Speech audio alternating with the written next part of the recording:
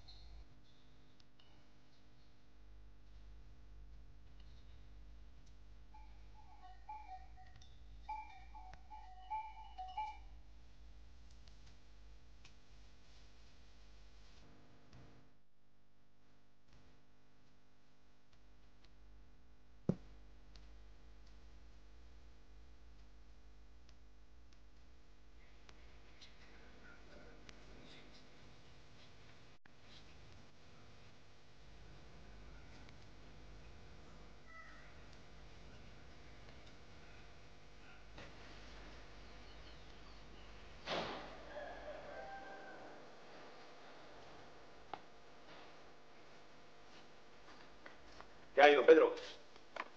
¿Hay algo para mí? Pues sí, una carta de propaganda de detergentes. Un viaje a Italia por 9.50 de escamas de no sé qué, para lavar no sé qué trapos y que los envía no sé qué casa. Se la daré a Marta. Como sin bicicleta. Pues que se me ha vuelto a romper la cadena. Una delicia. Bueno, y, y le dejo a don Pedro. Que la noche es para pasarla en familia y yo quiero terminar pronto. Que con esto de los preparativos, las mujeres se vuelven todas medio históricas. Una delicia.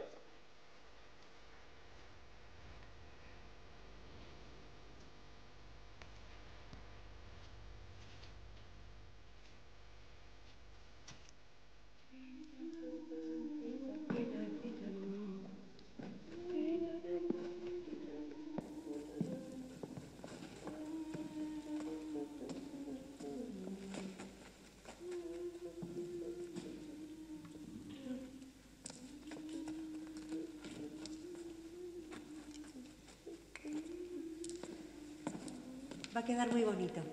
Don Marcelino, ¿no le parece? Muy bonito, sí. Lo que traducido al lenguaje vulgar quiere decir, siga con lo suyo y no me interrumpa con cominerías. ¿No es cierto, padre? Eh, bueno, perdone, no me interprete mal, doña Rosa, es Uy, que... doña Rosa, doña Rosa, pero ¿por qué no rosas secas?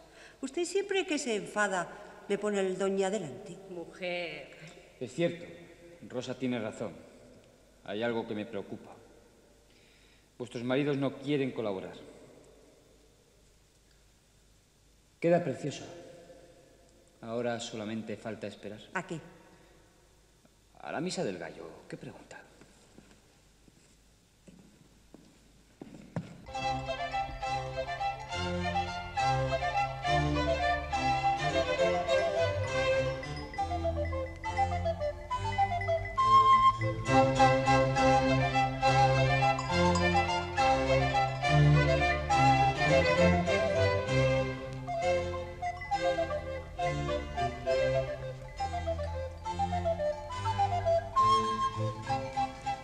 Dios, amigo.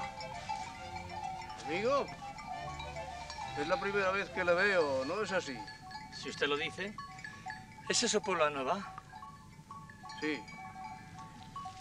¿Busca a alguien? A nadie concretamente.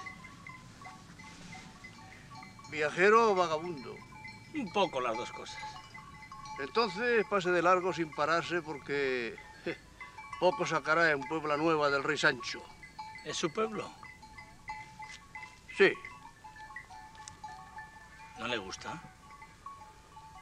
no demasiado. Hoy tampoco. ¿Por qué debe ser distinto? Porque hoy es el día más importante del año. Nochebuena. Usted lo ha dicho. Contento me tienen mis vecinos. Ahí están mis corderos casi intactos. Vivos, como usted, ¿le parece poco? No le entiendo. Tan mal le han tratado sus vecinos. No compraron mis corderos. ¿Por algún motivo especial? Todos se han hecho unos señoritingos. Ayer se fueron varios a Buen Aire y trajeron cajas de mariscos congelados y pavos y qué sé yo. En Nochebuena debe comerse cordero, ¿no le parece? Sobre todo si son suyos. Los tiempos cambian. Tan mal le van las cosas para que no pueda sonreír. ¿Tiene acaso algún familiar enfermo? ¿Carece de dinero o de salud? Bueno, yo tengo mi negocio y... Andrés, yo creo que tiene usted motivos suficientes para ser feliz en Nochebuena, cuando la luz vino al mundo. Sonríe. ¿Quién es usted? ¿Cómo sabe mi nombre? ¿Qué más da, hermano? Dios nacerá esta noche para todos. Hasta para los corderos.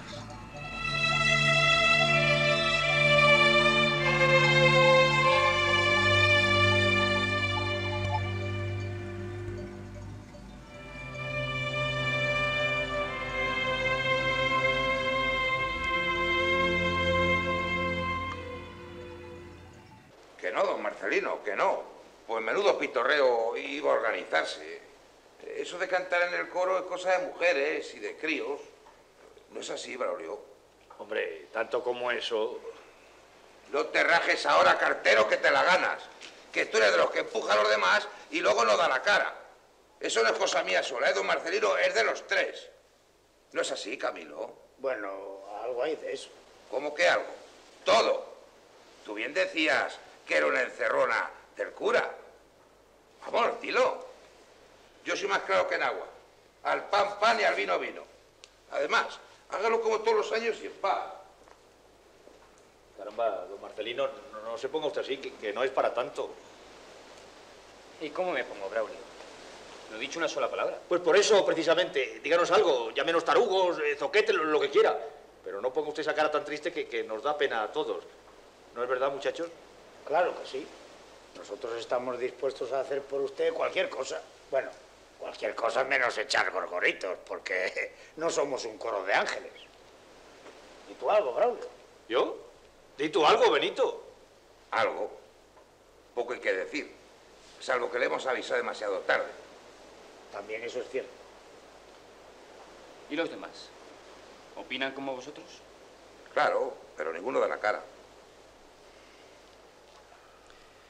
¿Qué diremos a los niños? Son los que más me preocupan. Supongo que no utilizaréis el argumento de que la Iglesia y las cosas de Dios son solo para mujeres. Pensad algo lógico cara a ellos. A mí no se me ocurre nada.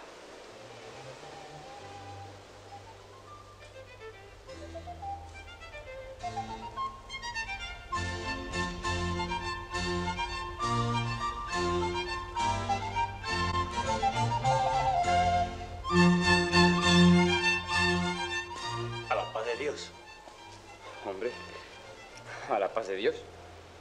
Llevaba mucho tiempo sin oír un saludo tan oportuno. En nosotros encontrará de todo menos esa paz que nos desea. ¿Problemas? Hombre, don Marcelino, no exagere. Que el mundo no se va a hundir porque nosotros... ¿Verdad, Braulio? O- oye, tú, a mí no me metas en líos, ¿eh? Que yo te meto en líos. Sí. Habráse visto, pero no es cosa de todos y... Y a la paz de Dios, como nos saludó este amigo. A propósito, ¿me buscaba para algo? Para nada en concreto. Hace un rato estuve en la iglesia, muy artística, una auténtica obra de arte. Y ahora al verle he querido saludarle. A usted, a Braulio, a Camilo, a Benito. Pero usted nos conoce. Ya ve que sí. Estuve con Andrés, el pastor, y con un señor muy, muy triste, el abuelo Tívoli. También vi al alcalde. Todos estaban preocupados, como, ustedes. ¿Estaban? ¿Ya no lo están? Ya no lo están. Sonrieron conmigo. ¿Por qué no tratan ustedes de sonreír? Una sonrisa produce más enseñanzas que la nieve. ¿Que la nieve? No lo entiendo. Ni hace falta, al menos por el momento.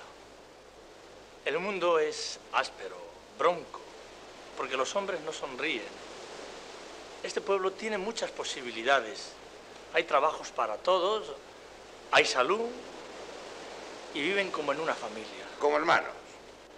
A veces nos tiramos los trastos a la cabeza, pero como hermanos. ¿Verdad, Brolin? Mira, no me pinches, no me pinches. Tengamos la fiesta en paz, ¿eh? De eso es lo que se trata, de paz. No se creen problemas inexistentes. Si no quieren ayudar a don Marcelino, no lo hagan. ¿También sabe usted eso? ¿Quién es usted? Un hombre que va de paso y se preocupa por sus hermanos. Llevo unas horas en el pueblo y, y aquí no hay muchos secretos. ¿Seguirá viajando en un día como hoy? Es posible. Si decide quedarse, venga a cenar conmigo y... Y con don Justo, los dos solitarios del pueblo. Caramba, ¿lo sabe usted todo? Usted no se asombre, padre. Es bueno conocer a los hombres y poner amor en las cosas, pero olvidándose del amor propio. Bueno, les dejo ya. Es usted un tipo extraño. Se mete lo que no le importa y no nos dice su nombre. A mí es que no me gustan los mendigos, ¿eh? Pues hace mal. Todos somos vagabundos, peregrinos. Si le mira usted la cara a su prójimo y le sonríe con limpieza, paz y amor, no tenga miedo. La humanidad está falta de sonrisas. Demos ejemplo. ¿Vendrá a la misa del gallo? Estaré.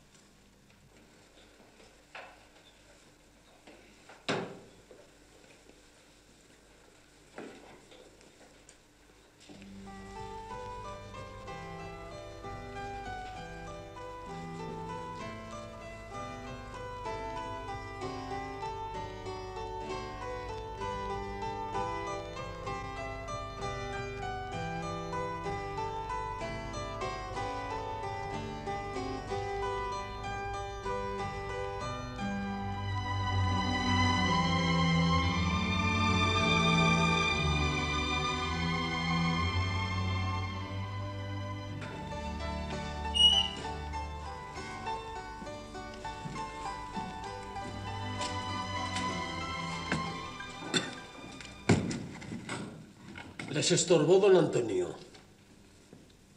Fui a buscarle a su casa y me dijo doña Rosa, tiene clase. Yo me quedé extrañado porque estamos en las Nochebuenas, en las Pascuas, en las vacaciones. Yo creía que era una cosa de broma.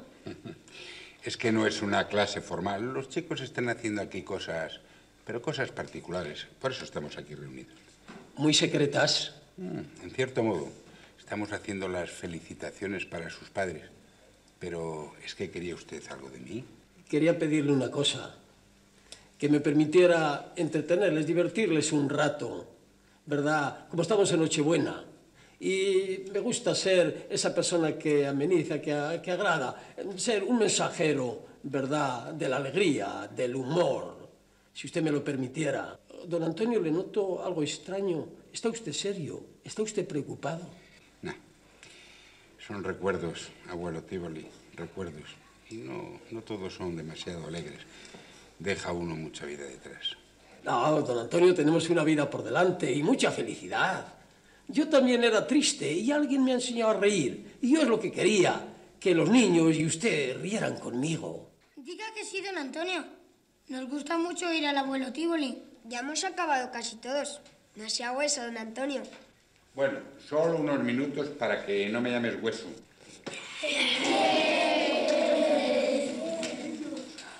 Bueno, en un día normal se lo hubiera negado, pero... Yo tampoco se lo hubiera pedido, don Antonio. Vale, pase.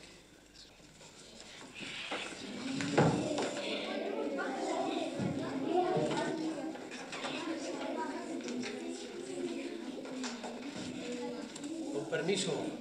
Buenos días. Gracias. Con permiso de usted, don Antonio, buenos días. ¿Eh? Gracias. Gracias. Yo estoy seguro que con el permiso que nos ha dado don Antonio y en esta ficha tan memorable, vamos a pasar unos minutos de misterio, de intriga y agradables. ¿eh? Vamos a ver, aquí tengo un objeto conocidísimo, muy hermoso, una flor, y un pañuelo que tampoco tiene truco. Un pañuelo que nada más para cubrir la flor así, una, dos y tres. Y ahora yo voy a pedir una cosa. ¿Dónde queréis que aparezca la flor?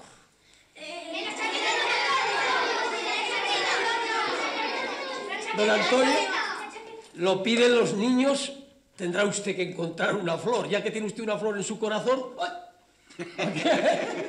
aquí tenemos la flor que hemos hecho de la Gracias, gracias. Y ahora, ¿me permitiría usted un alumno que pasara aquí un momento, por favor? Juanito, ven, por favor. Es que se me ha ocurrido pensar que tiene usted aquí un pedazo de cuerda que lo utiliza para la- lo normal, lo corriente. Pero yo voy a utilizarla con permiso para demostrar la inteligencia que tiene este buen estudiante. Yo esta cuerda nada más pasarla por la cabeza de un estudiante y hasta donde se eleve la cuerda por sí sola, así tendrá de inteligencia. Vamos a ver como un análisis, vamos a ver qué tal de inteligencia tiene este alumno de don Antonio. Nada más frotar así la cuerda un poco y paulatinamente debe ir subiendo por sí sola. Debe burlar esa ley de gravedad. Vamos a ver cómo se ve la cuerda. Pues va a dar el máximo. Es inteligente. Le felicitamos. Muchas gracias, muchas gracias, muchas gracias. Y ahora ya vamos a hacer otra demostración muy difícil.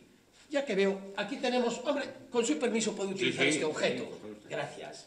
Vamos a colocarlo a una distancia prudencial. Sí, sí, muy bien. Y ahora vamos a colocar aquí unas cartas, pero para ello tenemos aquí un recipiente de cristal. Este objeto lo tomamos al colocarlo aquí y introducimos las cartas dentro, aisladas por todos los sitios. Y claro, hay un poder invisible que yo traigo siempre en la varita de la magia. Con esta varita se consiguen muchas cosas, menos que aprueben a uno. Eso no se consigue con la magia.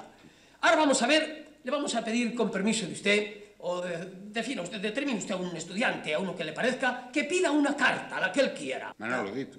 El dos de bastos. Muy bien, pues con permiso y la varita de la magia, nada más tocar así un poquito, saldos de bastos, sal, saldos de bastos, saldos de bastos, sal, saldos de bastos. Muy bien, muy bien. El, ¿Puede usted tomarlo, don Antonio?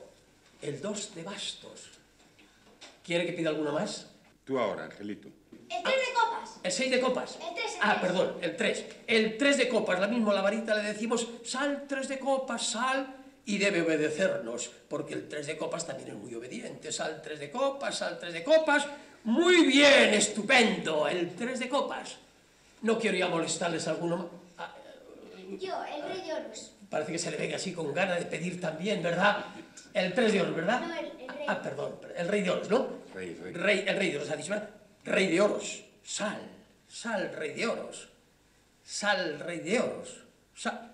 Muy bien, sal, rey de oros, sal, sal. Muy bien. Claro, yo créanme, no estoy muy a gusto con que haya salido así. Pero que yo tampoco le he dado los honores que le corresponde. Al dos de bastos se le puede decir saldos de bastos, al tres de copas, al tres de copas, pero al rey no debe utilizar esos honores y notas mayores. Nada más que decirle, lo introducimos como estaba y vamos a decirle, Su Majestad, ¿nos haría el favor de salir ante tan distinguido auditorio o alumnado de este plantel educacional con la cabeza para arriba. Salga su majestad, por favor. Salga su majestad. Salga su majestad. E indiscutiblemente sale con alegría y nos ha obedecido. Y así saludamos a todo este alumnado. Y felicitamos a don Antonio por habernos dado este permiso. Un aplauso para él que nos ha permitido este vino.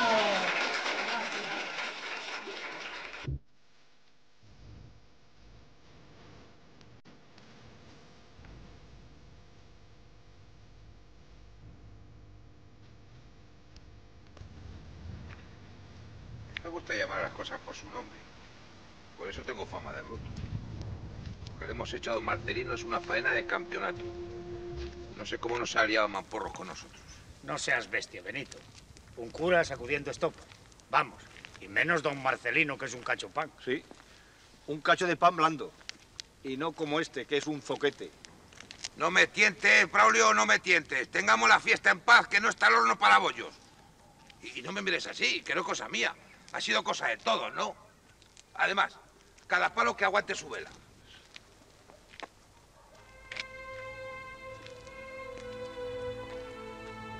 ¿Qué te pasa, Camilo? No, no pierdas el tiempo con este artista de la escoba. ¿No lo ves que está en Bavia? Pero oye, ¿se puede saber en qué estás pensando? ¿Eh?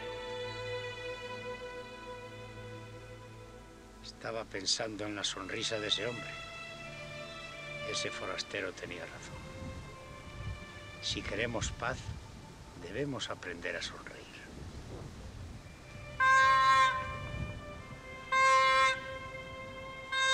¿Qué le pasa a ese chalao?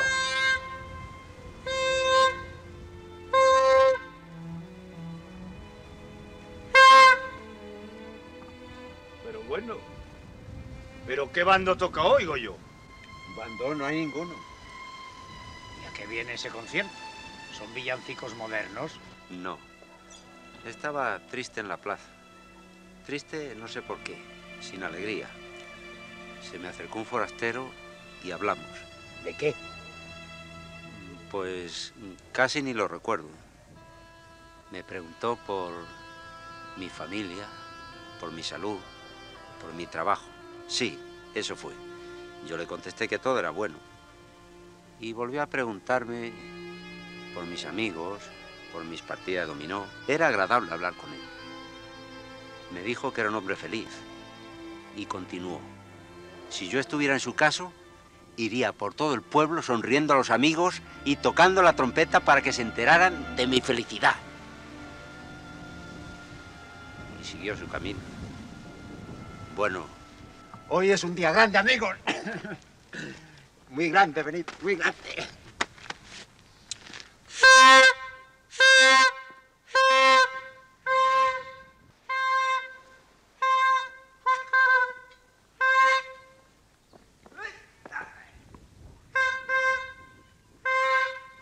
Ande, tómese una copita, alcalde. No, gracias, Braulio. Y he tomado muchas copitas en otras casas. Con vosotros tengo confianza. Solo vine a felicitaros las Pascuas. ¿Y María? En el colegio, con don Antonio. Deben estar preparando algo los chicos. Don Antonio quiere que feliciten a sus padres con una tarjeta. Fueron allí a redactarla. Me enteré por casualidad. Hoy, como lo comentaba María con Rosario. ¿Por casualidad o porque pegaste el oído a la puerta? Braulio. Que te conozco, Juana. Que tú siempre has sido un poquito cotilla. Bueno, ya sabe usted, cosas de mujeres. Bueno, os dejo que quiero pasar la tarde con Marta. No, espere. Bueno, en fin, para el caso que le hace esta, Con Pedro hay confianza. Con él no son necesarios esos tiquismiquis. no, sí, es lo que yo digo. Que donde hay confianza, da asco. Es que hoy tengo un día infernal. Que si la compra. Que si la cena extraordinaria de esta noche. Que si hay que poner la mesa bonita y limpiarlo todo. En fin, que cada día me gustan menos todas estas fiestas. Juana, que es la Nochebuena, la fiesta más hermosa de los cristianos. Se celebra en todo el mundo. No le haga caso, don Pedro. No sabe lo que dice. Mira, Juana, en la Navidad lo importante no es el turrón, ni el pavo, ni el mantel. Lo importante, lo verdaderamente importante, es que todos nos queramos un poco. Cierto, Braulio. Esta mañana estaba preocupado por, por una cosa sin importancia, hasta que alguien me hizo ver lo absurdo que somos los humanos, como el miope que busca las gafas que lleva sobre la nariz. ¿No sería por casualidad el hombre de la sonrisa? El mismo. Me gustaría encontrarle de nuevo, charlar largo con él. Es muy posible que volvamos a verle. ¿Y sabes lo que te digo, Juana? Que cuando estés de mal humor, toques la trompeta como hace el Goyo. ¿No le parece, don Pedro? Me parece, Braulio, me parece. A la Nochebuena hay que darle lo mejor. Claro.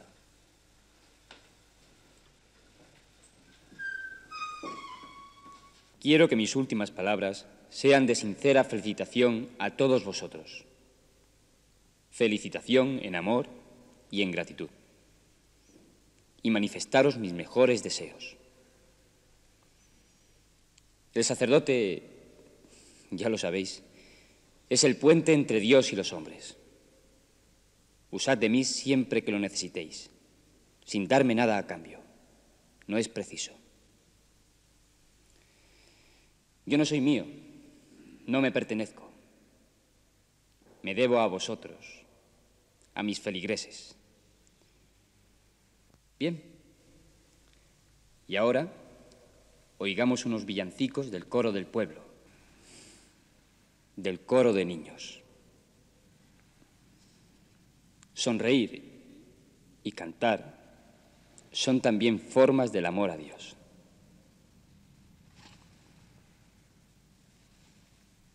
Ay del chiquirritín, chiquirritín, queridito del alma. Ay del chiquirritín, queridín, queridito del alma. Entre un güey una mula, Dios ha nacido. En un pobre pesebre le han recogido. Ay del chiquirritín, chiquirriquitín, queridito del alma. Ay del chiquirritín, chiquirriquitín, queridí, queridito del alma. Los pastores del campo han acudido, traen leche caliente, pan y quesitos. Ay del chiquirritín, chiquirriquitín, queridito del alma.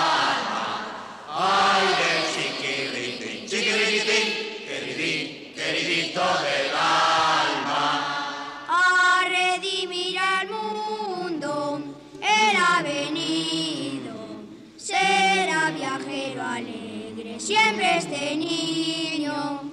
Ay del chiquirritín, chiquirriquitín, queridito del alma. Ay del chiquirritín, chiquirriquitín, queridí, queridito del alma.